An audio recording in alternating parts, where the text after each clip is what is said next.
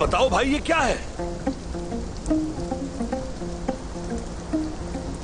सोने के सिक्के हैं जैर कोताय सोने के सिक्के। ये क्या हो रहा है? होशियार रहना भाइयों, यानी शहर पहुंचकर ही रुकना। मुझे कुछ समझ नहीं आ रहा, ये सब क्या हो रहा है? परेशान नहीं हो, आओ मेरे साथ, आ जाओ। चले। कांता कुजुनुस आपका जख्म काफ़ी गहरा है। क्यों ना यनी शहर चल के हमारे मेहमान बने?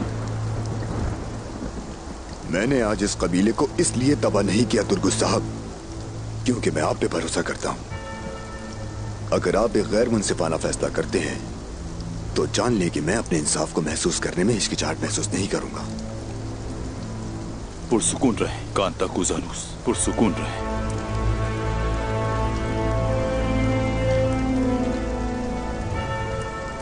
खातून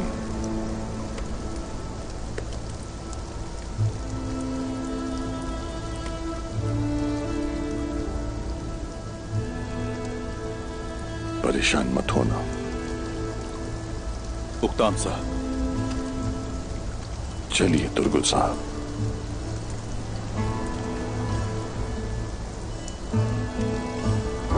हमारे जाने के बाद सिपाही आखिरी लम्हे तक कबीले में रहेंगे ताकि कोई भी बगावत या गलती ना करे। ऐसा कुछ नहीं होगा। जैसे आपका हुक्म मेरे हुजूर लेकिन तुर्गुत साहब अगर आपके सबसे काबिल एतमाद उस्मान का गलत फैसला हुआ और वो सच के खिलाफ अंधा हो गया तो?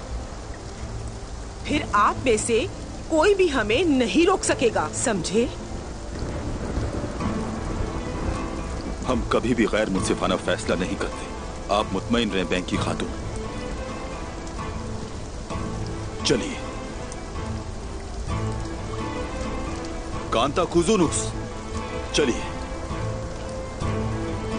आज यहाँ जो कुछ हुआ मैं तुमसे इसका हिसाब लूँगी। देख लेना पछताओगे तुम।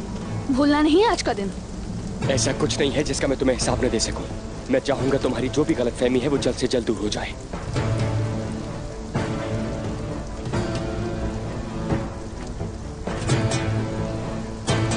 चलो।